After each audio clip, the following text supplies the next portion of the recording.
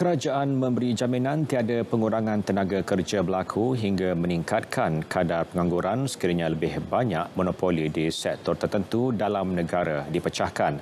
Menteri Sumber Manusia V. Sivakumar berkata, isu tersebut tidak timbul kerana keperluan tenaga kerja sedia ada dalam negara adalah tinggi.